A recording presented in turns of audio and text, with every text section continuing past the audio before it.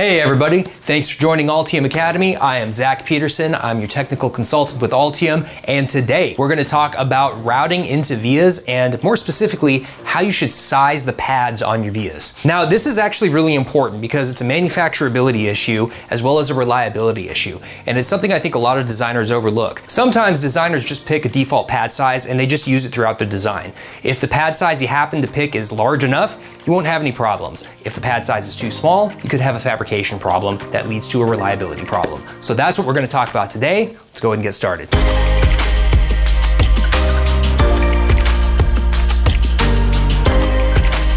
When you're getting ready to route your traces and you want to pick a via size that's going to be used to go from different layers in your board, what should that be, via size be? There's a few different ways to approach this problem. And you kind of have to balance manufacturability with the cost that, that you're trying to hit, as well as the pitch on the component. There's a number of different factors to consider. And one thing that I like to do is I like to try and just keep a consistent pad size above the hole size. And then you can use that to size out the rest of your vias. So I'll show you what I mean. If you remember our earlier video on PCB manufacturing, one thing that we talked about was the via hole size and specifically the drill size, meaning the size of the hole that they have to drill, which will then be plated up with copper to form your finished drill hole. As this drill size goes down, what happens to your cost? Well, your cost generally goes up, and that's because when you get to a smaller drill bit, those bits fracture more often. They can't take as many drill hits before they fracture, and so they have to be replaced more often. Obviously, that means the costs go up because they pass that cost on to you, the customer. Totally reasonable, right? One thing that you can do is you can pick a minimum drill size that you want to use. One thing that is, or one drill size, I should say, that's, uh, or hole size that's generally going to be useful for most PCBs is going to be a minimum of a 10 mil hole size on vias. So specifically, when you have a trace, you're routing into a via, and then you have some pad around it, this diameter would then be 10 mils. So this is gonna be good for most boards, and there's a few reasons for this. So first of all, obviously, manufacturing. Manufacturing is an important consideration because once you take, let's say, a board that has, you know, 200 drill holes in it, and you go from 10 mil to 8 mil, it's actually going to increase your costs. Now, for a single board, it might not matter so much, but let's say you have, you know, a thousand boards that actually does become a significant number and it's something that you need to think about as you go to a smaller drill hole size. The other issue that you might want to think about here in this case is not just the cost, but also the aspect ratio. So this is also very important for the drill hole size. So here with a 10 mil drill hole and a 62 mil thick board, uh, we basically have a 6 to 1 or 6.2 to 1 uh, aspect ratio on these drill holes. So those are going to be nice and reliable. This is going to be very easy to plate just using a pulsed plating technique and it's going to plate up very nicely throughout the entire uh, length of the barrel and you shouldn't have any problems in terms of thermal cycling as long as this pad size is large enough. The pad size is important for uh, thermal cycling and for reliability in that sense. But there's actually another important sense where you need to consider what the pad size should be. So the first is in terms of the trace width. The second is in terms of actually the fabrication capabilities of your fabricator. Okay, so now what I want to do is kind of compare a top view of a trace going into a via and then I want to compare the side view because the side view and the top view kind of correspond to each other here. So basically, this is kind of my layer stack from the side, this is my trace from the top. And so now the question is, just based on manufacturability, what does this big width W need to be for the entire pad. So we can actually size this based on the diameter of the hole and then a few other factors that are related to fabrication capabilities and then uh, the reliability that we need to hit. And this hole diameter is going to be chosen generally to be based on the, the factors that I discussed earlier, whether it's manufacturing limits that you're trying to hit, maybe it's pad pitch, maybe it's just the cost that you want to hit, whatever it may be. You've chosen this diameter, we'll call it D. So what happens when this hole actually gets fabricated is that this hole where we would like the drill to hit, that's not where the drill actually hits. All drills have some wander, okay? So remember, PCBs are etched and then they're drilled and they're drilled with a computer numerically controlled drilling apparatus. Instead of hitting right here, dead center in this hole where we would like it to be, what could actually happen is the drill hole could hit out here. Or maybe it's out here, you know, somewhere like in here. Or maybe it's just totally off the pad altogether if you're really off, okay? Now, one way to size your pads is to accommodate for this drill wander. And so what that does is that ensures that no matter where this drill is most likely to hit, you're always going to have a reliable electrical connection here. So this is actually defined in two IPC standards. Okay, so those are IPC 2221 and then IPC 6012. Now 6012 is derived from 2221. 6012 applies to rigid boards. There are other standards that are related to different kinds of circuit boards. So for example, there's one for high speed boards or high frequency boards that require impedance control maybe on PTFE based laminates. There's another related 60XX standard for HDI boards, so on and so forth. There's one for like rigid flex and flex boards. So there are different standards that cover this same type of analogous issue in those other types of boards. Okay, so I think it's kind of important for most designers to have like a bare bones understanding of some of the points in IPC standards. This is actually one of those. So this is actually related to a reviewer question that we that we got, and the viewer question was essentially asking, what is the formula for this specific pad diameter? And the answer is that there is one, but there kind of isn't one. What there is is there's a limit that's specified in the 6012 standards, and that limit is based on this distance right here between where the actual drill hit ends up and the edge of the pad. Now, this distance right here is called the annular ring. Some designers or some design guides will call this pad the annular ring, meaning like this distance right here, the annular ring. That's actually not correct. This distance is only the annular ring when the drill hit is exactly dead center in the pad. And again, that doesn't happen in reality. It's always going to be just a little bit off. And if you look at some actual circuit boards under a microscope, you'll be able to find vias where this is actually off significantly and it's a bit closer to the edge than it is in the actual center of the pad. So now what is this limit that it sets? So there is a very simple formula that you can use, and it's based on the minimum limit for this annular ring as specified in these standards. So that formula is this width, uh, I'll write it down here, is W is equal to A plus 2B plus C. This is actually how it's written in the, uh, the IPC standards. So what are each of the things inside of this formula? Well, W is the minimum land size. Okay, so it's meaning it's the minimum diameter of this pad. A is the diameter of the hole. So here we have A in this formula is equal to this guy, D. Next, what is B? Well, B is specified as this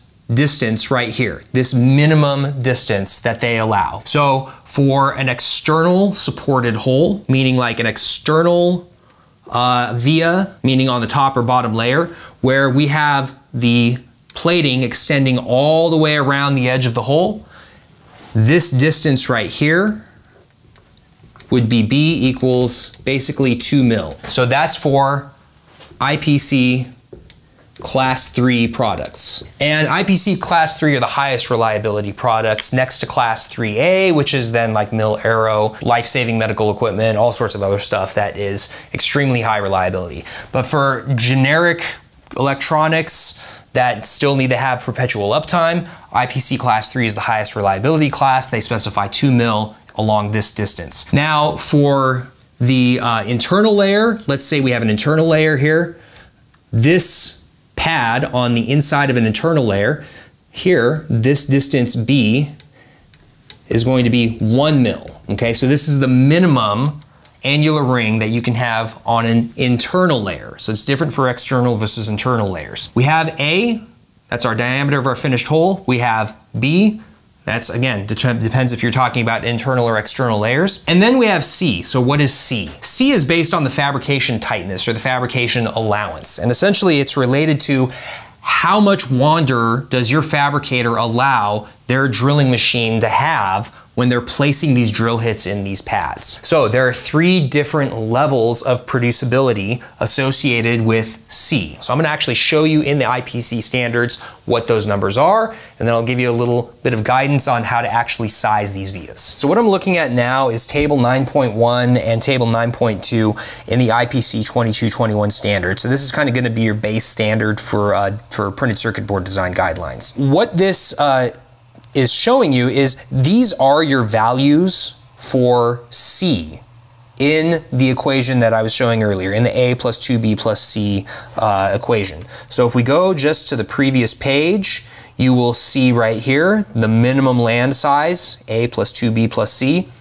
And then they actually define these different things here in this, uh, this next paragraph. Here for C, the values for C are going to be right here. Okay, so they're telling you exactly what they need to be. Here, for level C, this is generally the highest level of producibility, uh, meaning it's the hardest to reproduce, and this is generally what fabricators aim for, okay? So if your fabricator was only operating at level A, C would have to be a larger value, meaning that they have looser tolerances. So they are more likely to create a defect as defined within this standard when they're drilling the hole, meaning it could be off the pad, or it could be uh, essentially uh, uh, breaking the trace connection to the pad. And so there are some examples to this. So I'll explain figure 9.1 here in just a moment. But going back here to this table, we can actually use this to kind of create a little example of what we need our pad size to be in order to meet uh, like a class 3 requirement or a class 2 requirement. So let's just say for a moment uh, I want to figure out the minimum land size for a finished hole size of, let's say, 8 mil. Okay, so I say finished hole size because if you look at here in A, this is going to be the maximum diameter of the finished hole. Okay, so if the finished hole is, let's say, 8 mils, and we want to design to class 3. We'd have B equals 2 mils as defined down here in table 9.2 for an externally supported hole. So 2 times 2 mils gives us 4 mils plus this 8 mils here for C. And so we have 8 plus 8 plus 4, and that gives us 20 mils. I know that's a, a, little bit of info to digest, but again, you have all the values here that you need to figure out your minimum land size. Okay, so our finished hole was 8 mils, and our, uh, our pad size needed to be at least uh, 20 mils. So that's everything that we need to size our vias to hit a class 3 requirement. Now you'll notice here under 2221 uh, that uh, we have class 1, class 2, and class 3 all kind of lumped together. This requirement is actually relaxed a little bit when you look at 6012. So IPC 6012 relaxes this and allows for something called breakout. And breakout is defined here in this next PDF I'm going to pull up right now. Okay, so here's what we're looking at in uh, the 6012 standards. Specifically, we're looking at what happens here with annular rings under IPC 6012. So uh, you'll notice here for class 3 we have the same requirements that we had uh, for our uh, under uh, IPC 2221. We now have a different requirement which is called 90 degree breakout. And so I'll explain what breakout is in just a moment. But essentially this allows the drill hit to come off of the pad just a little bit and it makes this pattern called a 90 degree break breakout. Here for class one, you can have even more of an allowance. It go up to 180 degree breakout. So again, I'll show what that looks like here in just a moment. But one of the things that you can do uh, to prevent uh, breakout uh, and to uh, ensure even greater reliability is if you go back to the 2221 standards, you look up here in figure 9.1, you can actually add a little bit of copper to your land shape in order to ensure that there's always going to be some additional copper above the minimum annular ring size and it's really going to ensure that you have maximum reliability. Okay, so corner entry is kind of one way to do it. I think that's kind of the cheat cheater's way to do it, and um, you can still have a problem with reliability here because you might have this breakout of the pad. Keyholing uh, yeah, you can do it, but it's kind of pointless. Really, the standard way to do this is to just do filleting. This, this structure is actually called a teardrop here. So the teardrop is kind of the standard structure that you would use to ensure maximum reliability. And you can actually apply this really easily in Altium Designer. So we'll show uh, in an upcoming video how you can actually do this really quick and easy and just apply those to every net on your board if you want to. Okay, so real quick, what I'm gonna do is just show you what breakout looked like. Here, let's just say this is our pad and we would like to have the drill hit right here obviously in the center and that's where we are aiming our drill.